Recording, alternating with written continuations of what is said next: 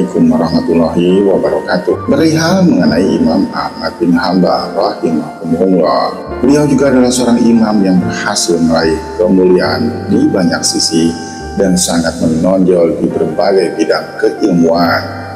Ahmad bin Hambal dengan memiliki biografi yang begitu indah, akankah kita mendapatkan percikan dari keteladanan seorang Imam Ahmad bin Hambal? Bagi para ahli hadis, Ahmad bin Hambal adalah imamnya. Dan di sisi ahli fikih, beliau adalah syair. Di kalangan para mukhwas, maka beliau tercatat sebagai amir, tokoh yang amat pemberani dan kokoh mempertahankan akidah meski didera berbagai ujian yang sangat berat dan bertubi-tubi. Sejarah mencatat bahwa beliau hidup di masa daulah Abbasiyah Daulah yang tentu tidak lepas dari segala macam kekurangan. Pak Makmum, salah satu penguasa yang berdaulat saat itu condong kepada budaya Persia, sedangkan Al-Mutasim condong kepada budaya Turki. Di masa tersebut, marak pula penerjemah buku-buku filsafat baik dari Yunani, Romawi, Persia, maupun India ke dalam bahasa Arab dengan dukungan penuh dari sang penguasa saat itu. Akibatnya tumbuhlah dengan subur berbagai penyimpangan atau yang saat ini biasa disebutkan sebagai bid'ah. Baik dalam akidah dan juga dalam hal ibadah di kalangan masyarakat muslim saat itu. Syiah Rafidah pun tersebar di masa itu. Aliran Mutaziyah juga mulai tersiar saat itu Para pengasuhnya bagaimana mendapatkan angin segar karena mereka berhasil beroleh topangan dari penguasa yang berdaulat saat itu. Mereka pun berhasil menjadikan keyakinan kufur tentang Al-Quran bukan ucapan Allah, melainkan makhluk yang juga dicipta. Hal tersebut sebagai doktrin wajib yang harus diyakini bagi seluruh rakyat di masa itu. Lebih dari itu, Imam Al-Makhrizi menjelaskan bahwa penerjemahan dari buku-buku filsafat yang dijalankan oleh Al-Ma'mun menjadi titik tolak berjamurnya kesesatan di tubuh umat Islam saat itu. Aliran-aliran seperti aliran Qadariyah atau pengingkar takdir, aliran Jahmiyah, itu yang biasa disebut dan dikenal sebagai peningkat dari seluruh sifat Allah, aliran Karamita Batinia dan juga beberapa aliran-aliran sesat lainnya semakin melanda permukaan bumi di masa itu sehingga mengakibatkan terseretnya umat pada malapetaka dan juga kemalangan yang tak terperi pada agama mereka. Di beberapa saat genting itulah maka Allah munculkan atau lahirkan Imam Ahmad untuk membela agama Allah dan mengembalikan kembali kemuliaan para pengikut sunnah Nabi. Benarkah akhirnya apa yang disabdakan? Benarlah apa yang disabdakan oleh Nabi Shallallahu Alaihi Wasallam yang bunyinya bisa diartikan sebagai sesungguhnya Allah akan munculkan bagi umat ini pada setiap 100 tahun seorang tokoh yang akan memperbarui atau mengembalikan kemurnian agama ini. Quran dalam hadis riwayat Abu Dawud dari Abu Hurairah radhiyallahu. Nama beliau adalah Ahmad. Ayah beliau bernama Muhammad bin Hambal Az-Zuhri ini.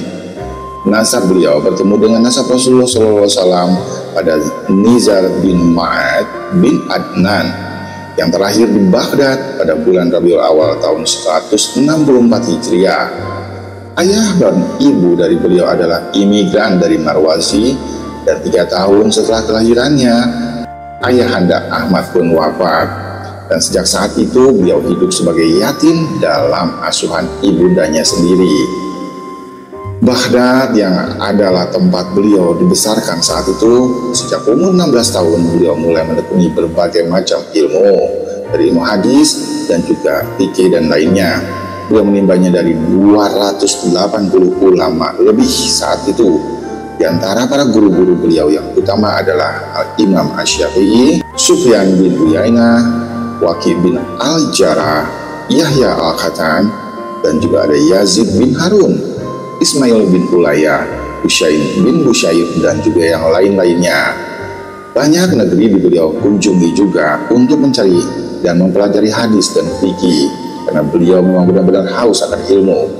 Beliau akhirnya hijrah menuju Kufah dan pergi menuju Basrah. Sempat juga ke Makkah, Madinah, Yaman, Syam dan juga Zazirah dengan perbekalan seadanya saat itu. Kehebatan dari hafalan Imam Ahmad. Hafalan beliau memang sungguh luar biasa. Banyak yang dihafal, banyak yang beliau baca dan kaji dari kitab-kitab hadis dan kehebatan hafalan beliau dipersaksikan langsung oleh para imam dan ahli hadis di zaman itu. Abu Zura pun juga pernah berkata, ketika Ahmad bin Hambal wafat, aku kumpulkan karya-karyanya dan ternyata mencapai lebih dari 12 pikul. Tidak ada riwayat, atsar, dan hadis yang tertulis dengan tinta baik di sampul kitab atau di dalam isinya, kecuali semua telah dihafal oleh Ahmad secara lengkap dengan jalur perawinya. Abu Zur'ah juga pernah berkata kepada Abdullah bin Ahmad bin Hambal bahwa ayahmu menghafal sejuta hadis. Lalu Abdullah berkata, dari mana engkau tahu wahai Abu Zur'ah? Aku pernah bermajlis dengan ayahmu, ikuti kajian bersama, dan beliau sebutkan hadis-hadis tersebut dari hafalannya. Aku kumpulkan menjadi sekian banyak bab, Zahabi memberikan catatan kaki bahwa dihafal oleh Ahmad hingga mencapai sejuta itu bukanlah hanya hadis Nabi Shallallahu Alaihi Wasallam belaka, namun juga termasuk asar sahabat, fatwa bin tabiin, tafsir mereka dan juga ucapan-ucapan dari para kaum salaf saat itu. Adapun naskah asli dari hadis yang diriwayatkan sampai dengan Nabi tanpa menghitung yang terulang ada terdapat sekitar 10.000 hadis. Ali bin Al-Madini menyaksikan bahwa di zaman beliau tak ada yang lebih hebat hafalannya daripada Ahmad bin Hambal.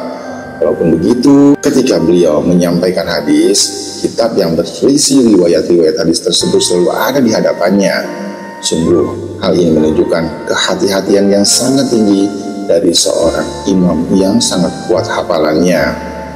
Ambillah sikap beliau ini sebagai teladan bagi kita dalam menyampaikan berbagai macam ilmu Jangan bersikap ceroboh dan sampaikanlah ilmu dengan cermat dan juga hati-hati. Ketinggian derajat yang telah dicapai oleh Imam Ahmad dalam ilmu adalah hasil dari tekad baja dan keteguhan jiwa dalam menuntutnya. Raga ini, jika dicurahkan untuk menggali ilmu, maka mutiara-mutiara yang terpendam pun akan terkuak dengan sendirinya. Imam Ahmad bin Hambal begitu serius dalam menuntut ilmu saat itu. Waktu yang panjang pun dilaluinya perjalanan yang jauh ditempuhnya dan tak kurang dari itu adalah kefakiran pun ia rasakan dan jalani dengan penuh ketabahan dan kesabaran. Tak rela dirinya disibukkan dengan urusan mencari nafkah duniawi, ia pun tunda menikah untuk menggali dan mendulang berbagai mutiara-mutiara yang lebih berharga dari sekedar nikmat duniawi Cobalah kita perhatikan bagaimana kesungguhan sang imam dalam menuntut ilmu. Al-Kalal pernah bercerita bahwa wajib bila hari telah gulita, ia berlalu dari majelis hadis dan saling mengingatkan bersama Ahmad. Keduanya berdiri di dekat pintu, lalu masing-masing bergantian membacakan hadis demi hadis lengkap dengan perawinya. Waki pun terlebih dahulu membacakan hadis. Wahai Ahmad, aku akan bacakan untukmu sebuah hadis yang aku dengar dari Sufyan Baik, jawab Ahmad, bacakanlah.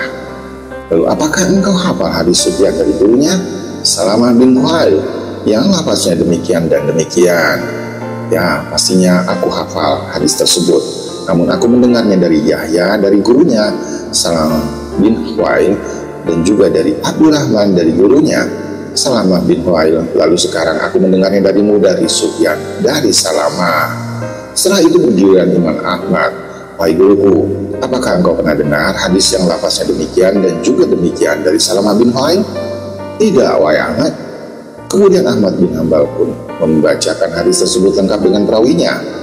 Demikianlah secara bergantian pengulangan hafalan ini berlalu tanpa peduli waktu yang berjalan dan baru berhenti ketika seorang pelayan mengingatkan kedua imam ini bahwa malam telah larut. Kejahatan tersebut bukanlah terjadi sekali dua kali, namun sudah menjadi kebiasaan bagi Imam Ahmad dan gurunya. Tak heran jika Ahmad begitu hafal dengan hadis-hadis yang beliau dapatkan dari jalan gurunya, itu Waki bin Al-Zarah. Di antara buktinya, beliau pun pernah meminta kepada anaknya Abdullah untuk mengambil salah satu kitab hadis dari Waki bin Al-Zara lalu menyuruhnya untuk membaca sembarang hadis yang ada dalam kitab tersebut. Bacalah lafal hadis sekendakmu, bahkan sebutkan sanad hadisnya, ataupun sebaliknya, sebutkan sanad perawinya, niscaya aku akan bacakan hadis yang diriwayatkan tersebut. Begitulah kehebatan hafalan dari Imam Ahmad saat itu ujian dari para ulama bagi sang imam. Salah satu guru beliau dan imam dunia pada zamannya yang sangat tersohor saat itu adalah Imam Ash-Syafi'i yang pernah memuji beliau. Aku pergi dari Baghdad, tak seorang pun yang aku tinggalkan dari penduduk negeri itu yang lebih bertakwa, kewaraannya, dan berilmu daripada Ahmad. Masya Allah. Guru beliau dari Syan'a, Abu Razak bin Hamam berkata, Tak ada seorang pun dari para pencari hadis yang seperti Ahmad bin Hambal saat itu. Bahkan aku pun pernah, pernah melihat di zamanku yang sehebat dia. Demikianlah pujian para ulama yang begitu sangat tinggi bagi Imam Ahmad di masa itu.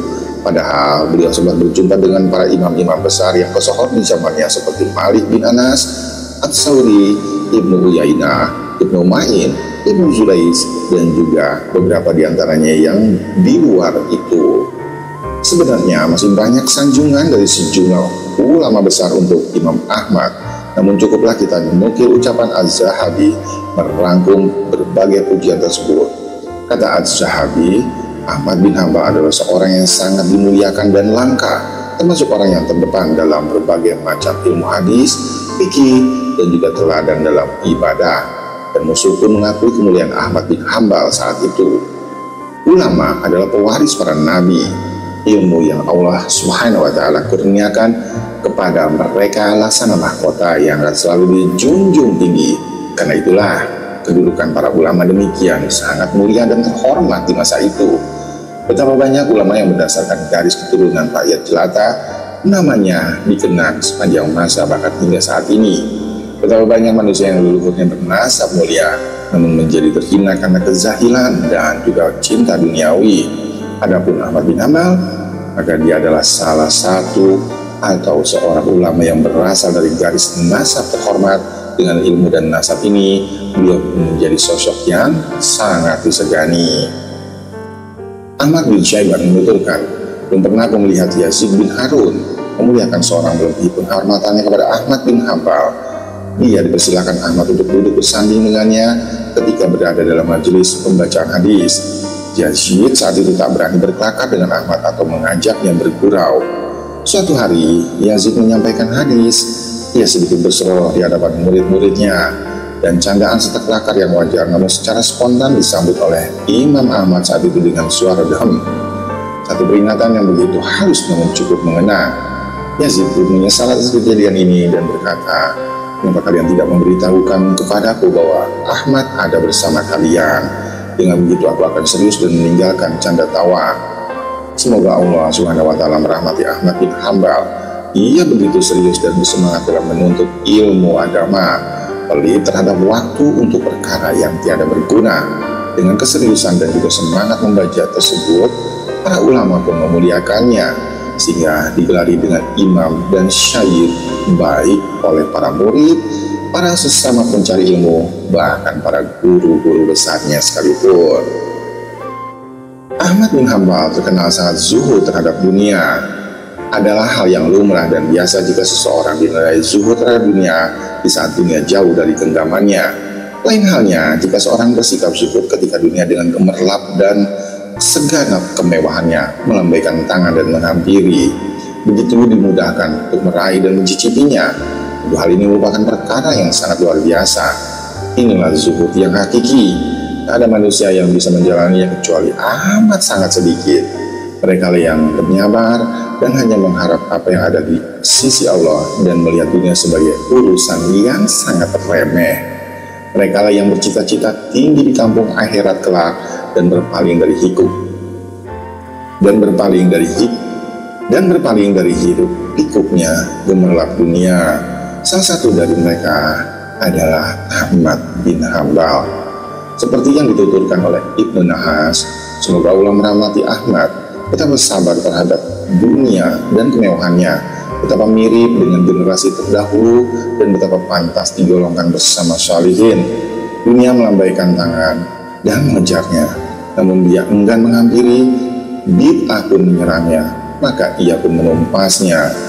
Begitulah keadaan para imam yang bertakwa, memiliki kesabaran yang sangat sempurna dan keyakinan yang teguh menghujam jiwa setiap manusia.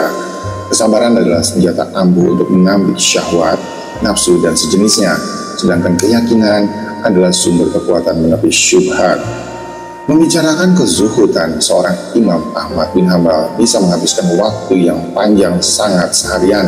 Namun cukuplah kiranya beberapa contoh yang dinukilkan tentang perangai tersebut adalah seperti Salih bin Ahmad pernah berkata, Tak jarang aku melihat ayahku memungut sisa-sisa potongan roti dan beliau bersihkan debu-debu yang melekat daripadanya lalu diletakkannya di atas panci. Dia tuangkan ke dalam roti ini air lalu disantapnya dengan garam. Belum pernah sekalipun aku melihat ayahku membeli delima, safarza, atau buah-buahan lain yang sering aku lihat. Ayah menyantap anggur, kurma, dan semangka yang dimakan bersama roti. Ini adalah buah dari rasa takut yang sangat kepada Allah. Bila disebut-sebut kepadanya tentang kematian, maka lehernya tercekat akibat diliputi rasa takut yang amat sangat. Imam Ahmad bercerita kepada anaknya, Wahai Salih, dahulu ibumu meminta benang saat gelap menyelimuti. Setelah jadi, kain tersebut dijualnya dengan dua dirham, dan dua dirham itu cukup untuk membeli makan satu keluarga seharian. Kalau beli sesuatu, kita sembunyikan supaya orang tidak melihat lalu mengolok-ngoloknya. Terkadang kita membeli roti, lalu kita campur dengan biji adas, minyak samin, dan beberapa butir kurma kering dalam wadah. Ketika anak-anak datang dan mereka minta makan, kami sodorkan racikan makanan tersebut. Anak-anak hanya tertawa dan tidak mau menyantapnya sama sekali. Imam Ahmad memiliki rumah yang sangat kecil dan sempit. Jika musim panas datang, beliau tidur di atas tanah ia pernah ditegur oleh Ahmad bin Isya al-Misri yang datang bersama rombongan dari para ulama tentang rumahnya yang jauh dari kelayakan. Wahai Abu Abdillah, kenapa engkau memilih hidup prihatin dan bersedih seperti ini? Bukankah Islam itu agama yang mudah dan longgar? Buatlah rumah yang luas dan layak. Imam Ahmad saat itu terpana dan mendapatkan kritikan pedas. Saat itu, ia saat itu tengah berbaring mendadak pun akhirnya bersikap duduk dan setelah tamu itu pergi, ia mengatakan, Aku tidak senang orang-orang yang seperti mereka datang ke rumahku. Imam Ahmad juga menolak untuk mendekati istana para penguasa. Ia tolak hadiah dari mereka, sebesar apa pun itu. Ishak bin Musa al-Ansari pernah berkata, Al-Ma'mun menyerahkan harta kepadaku, lalu berpesan supaya aku membagikannya bagi para penuntut ilmu saat itu. Sebab banyak mereka adalah orang-orang miskin dan lemah. Setelah aku bagi, tak ada yang tersisa dari para penuntut ilmu kecuali telah mengambil bagiannya dan yang membuatku terpana Ahmad bin Ambal enggan sama sekali menyentuhnya dan menerimanya. Bahkan Ahmad bin Hambal sangat marah jika anak-anaknya mendapatkan hadiah dari para gubernur dan penguasa saat itu. Tapi ketika Ahmad kehabisan makanan, dan selama tiga hari ia tak makan, lalu mengutus kepada temannya untuk meminjam gandum. Tiba-tiba Teman tersebut menghidangkan makanan dengan sangat cepat. Pun bertanya dengan penuh keheranan, apa kalian begitu cepat menghidangkan makanan untuk kami? Lalu mereka berkata, tunggu milik Salih sedang nyala, lalu kita buat roti di atasnya. Lalu Imam Ahmad pun berkata, angkatlah, lalu tutup rapat pintu yang menuju kamar Salih. Ahmad bin Hambal tahu bahwa Salih menerima hadiah dari Al-Mutawakil sehingga sebagai pelajaran untuk Salih ia pun akhirnya dihukum.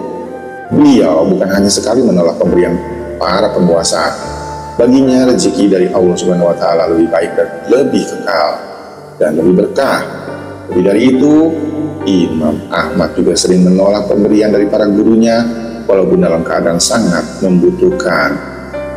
Ishak bin Ruqyah menceritakan, aku pernah bersama Ahmad berada di sisi Abu Razak As-Sana'i. Kita menyewa sebuah kamar, kamarku di atas sedangkan Ahmad berada di bawah. Seperti biasa, jika aku singgah di suatu negeri, aku membeli sebuah orang budak dan suatu saat budak itu naik dan mengabarkan bahwa bekal Ahmad sudah habis. Kutawarkan kepada Ahmad uang sebagai pinjaman atau pemberian cuma-cuma, namun ia tak pernah mau menerimanya.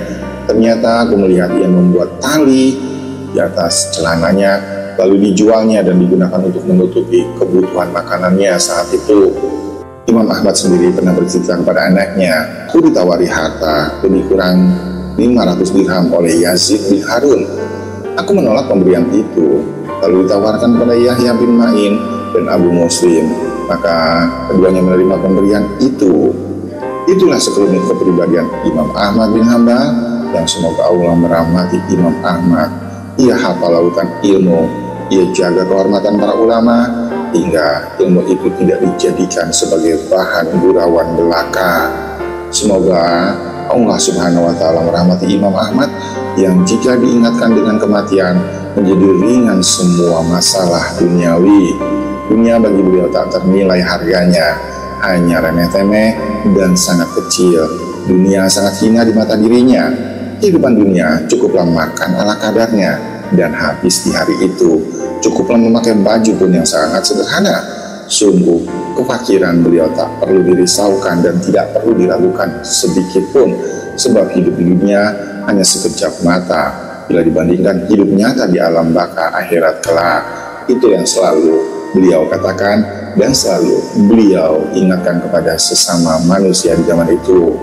Dan prinsip tersebut pun akhirnya dipegang hingga ia meninggal dunia. Wallahu alam bisawab. Semoga kisah Imam Ahmad bin Hambal yang sangat mulia bisa menginspirasi dan membuat kita meningkatkan iman dan takwa kita kepada Allah Subhanahu wa taala. Wabillahi taufiq wal hidayah. Assalamualaikum warahmatullahi wabarakatuh.